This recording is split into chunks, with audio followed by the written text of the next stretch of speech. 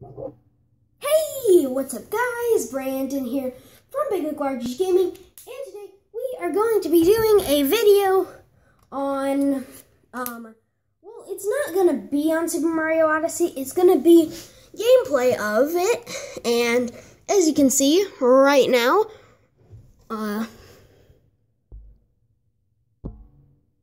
the screen can focus, Riley is playing Odyssey, but that's not what we're here to talk about today. Today, we're here to talk about the Nintendo universe because I've found a way to fit every game they have ma- ever made into the universe.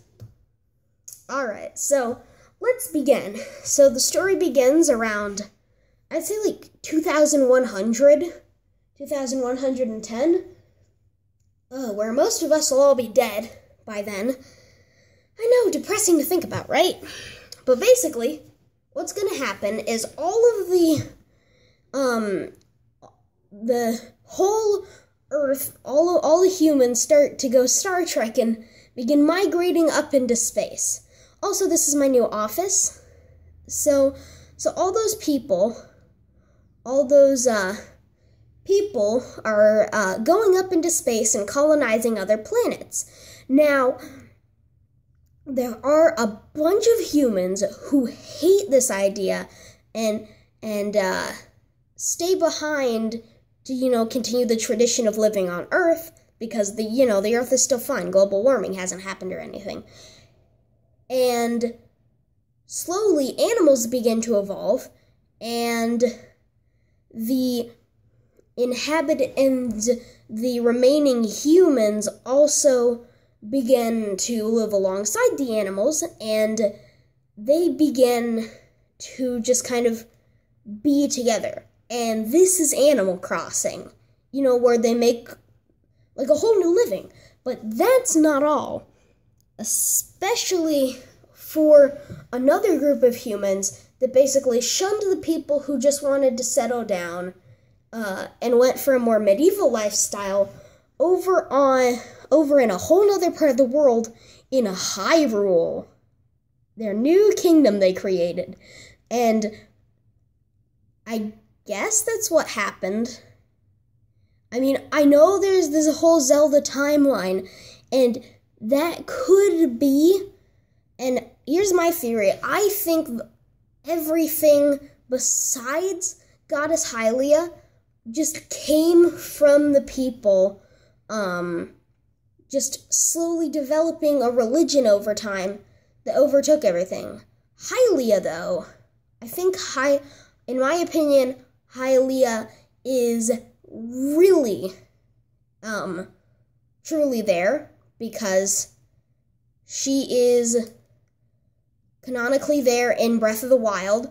So that's where I think that she lives. I mean, not lives, but is. And Goddess Hylia has actually been there from the beginning of Earth. And so that's what's up in there. Can you guys even get decent footage of this? I don't think so. If you can't see the text, I'm sorry, but it's really hard. I should have just made this on the TV, but my dad's playing downstairs. So so that's really what happens on Earth. So the humans who have decided to go up into space have just suddenly um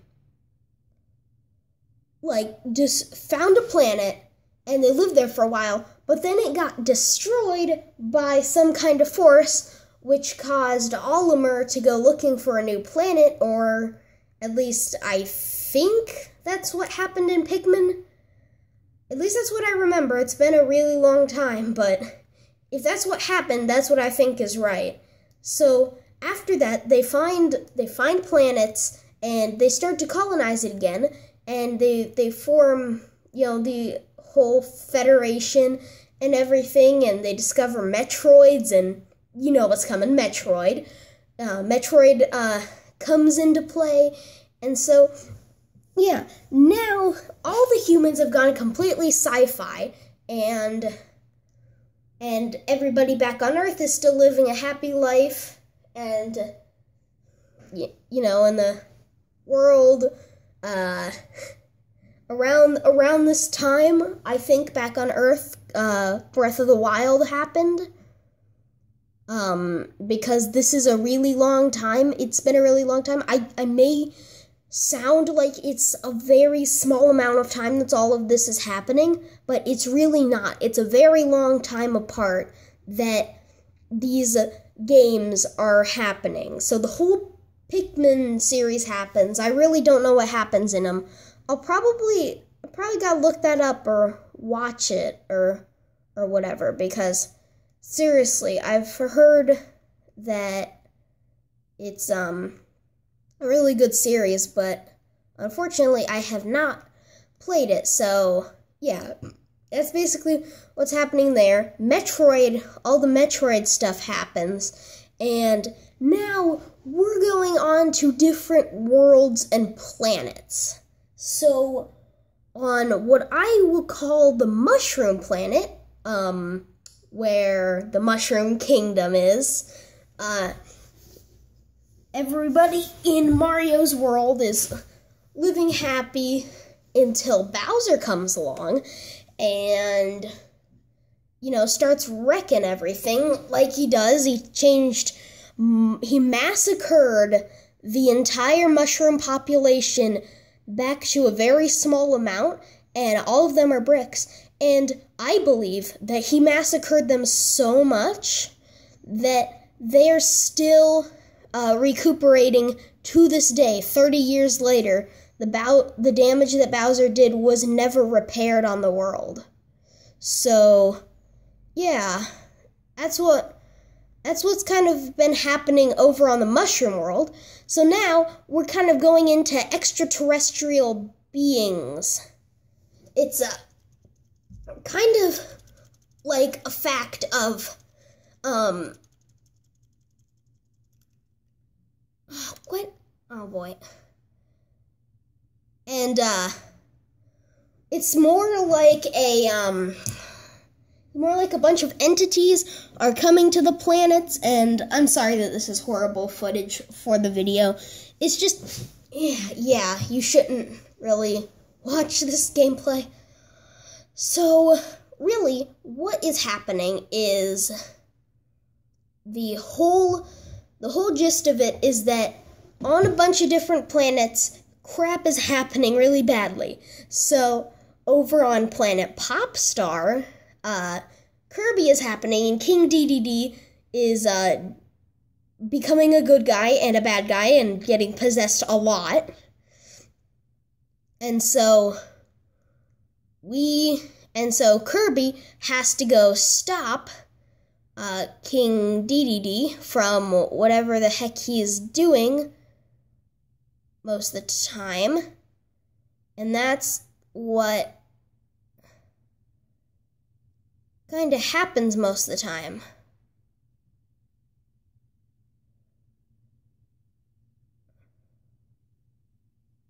Sorry, I'm I'm concentrating for a second. I want to find the balloon. I can't find it.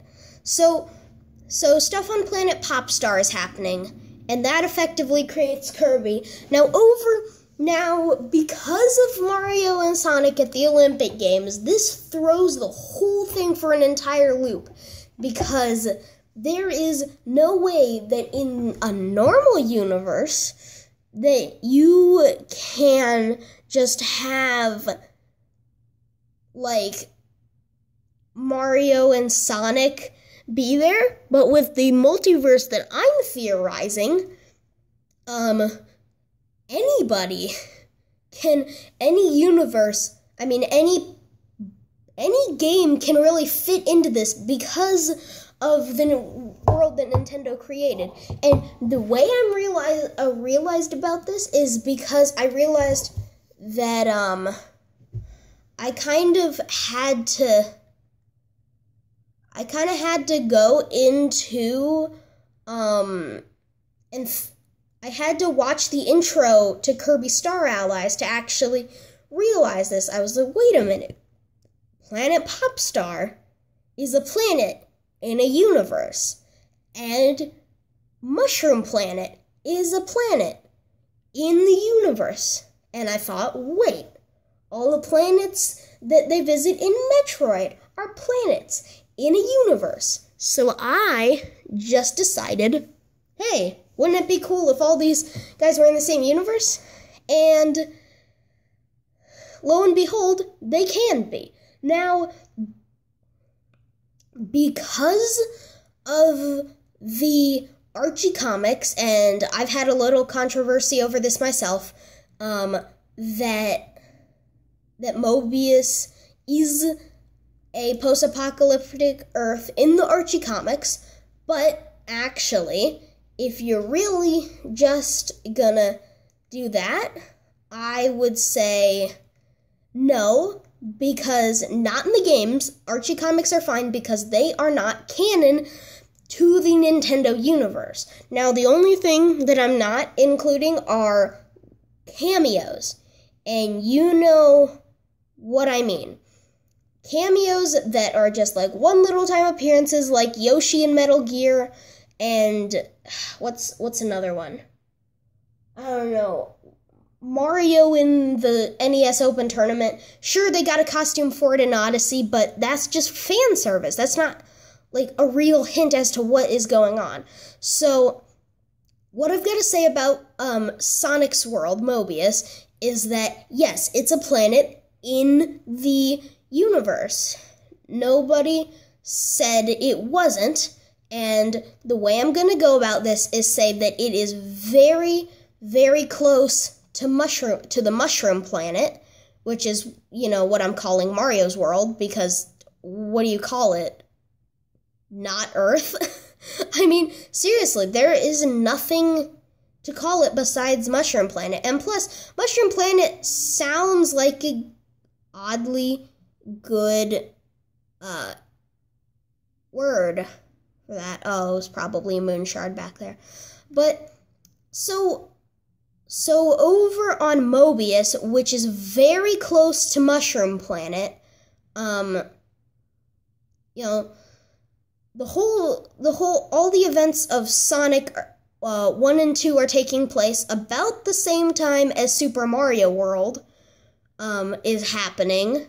So, in there, um, we can't, we can say that because um, we know that um, now that Odyssey has come out, and we know that the Mushroom People have readily available um, space travel, and from like since Sonic, okay, since Sonic Two, we've known that the Mobians, or at least uh, the human like Mobians have had space travel. It isn't too fetchy that sketchy or fetchy or whatever you fe- is it is it sketchy or fetchy? Hey, Riley searched for my balloon. Is he on? Yay! I'll call him after this. So, what I want to know in this from from this is that what I want you to know is that this game I mean, this universe of games is infinite. I mean, you could say that about any place. You know, they have a universe, they could go into this. But the Nintendo universe, except for maybe something like Mass Effect, has such a massive universe because I don't know if you realize how far out um, it's gone from just being on Earth and how how normally we go and visit Mushroom Planet or Planet Popstar or um, Zebes. So, really, what you need to know is that everybody who lives in the mushroom universe is just complete. Everybody who lives in the Nintendo universe is not the same planet is not the same age or or time because while a lot of this a lot of them are the same age, they are not truly the same like age out of like all of guy uh, they're not all in the same time frame. And you know that because um and you know that because obviously you have the humanoid Hylians on a futuristic Earth who shunned the um, Sheikah tribe, which could have been remnants of their own um, taking on taking on uh, their own take on um, futuristic te- technology for from the Metroid area of the universe, but also parts of other places. I'm sorry. I'm I'm getting way off track. I don't know where I was or what I was trying to convey because I basically conveyed all that I can. I don't know if I missed any um, major major um, Nintendo franchises except for like things like like don't tell me about uh, Xenoblade or Fire Emblem because I don't even I haven't even like thought about that. I don't I don't even really care. I just want the main Nintendo games because technically if we're going by either the by either Zelda logic or Metroid logic, they're either on the both those series are either on another planet or they're somewhere on Earth much farther in the future, which it wouldn't be much of a stretch for the Zelda theory because, you know, kingdoms. It could be in the same world as Hyrule. You know? So just don't think about this for that. Just think about the space aspect of this. This is Nintendo going sci fi, is what I'm thinking. Now, technically, if you think about it, they already have because Mario has gone to space already. Uh, the mushroom people have been shown to have uh, airships that can go to space. And it wouldn't be much of a stretch if you soon had a Mario game that not only took place on Mushroom Planet, but also on in space or on another planet. Like if you had a legitimate game that wasn't just um, the Olympics that Mario and Sonic had a crossover, it was like, which I know it's stupid because it's never gonna happen, because you know they make they an Olymp there's an Olympics every two years, so they've got enough full with that as as ever, and you just saw my official moon count 719. Yes, I play this game a lot. Um, and see, it's just hard. It's hard to crack this because I want to believe that the Nintendo universe is all one. It's just all one universe.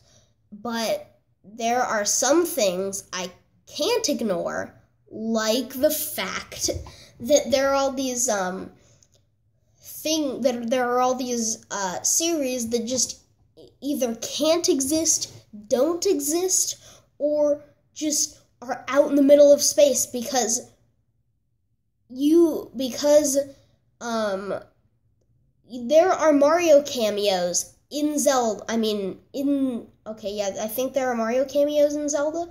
I no, there are Mario. Okay, there may be. I don't know. There are Mario cameos in Kirby. There are Mario cameos in Metroid. I think. So and and so it's just not a stretch that that maybe there will be a game that's a crossover between the two between the um worlds or between a bunch of different series. And you know, there's Mario Kart, but st- still, that's only really okay. Okay, it's not. It's not that. That's basically saying that the Nintendo multiverse exists. Mario Kart is saying, hey, you're right. it exists. So, yeah, that's my theory on the Nintendo multiverse. It's tiring to listen to me babble on for so long, but if you want to show your support for the channel, uh, leave a like, comment, and subscribe, and maybe if you do that, I'll make some more of these because I really enjoy just talking to you guys while playing a game. I'll try to get a better quality, um, better quality conditions for this. And I know I went on for a really long time compared to my compared to other things I do. So just just please forgive me for that. I I just this was a really big topic. I thought of it today and then I just suddenly got just over the top excited about doing a video on it. So I was like, "Hey, why don't you why don't I just do a video on it?" So I did. And that's what you just watched. So, I guess that's about it for this video, guys. If you enjoyed the video, please leave a like and subscribe. And this is Brandon from Big McLargerHuge Gaming, signing out. Goodbye.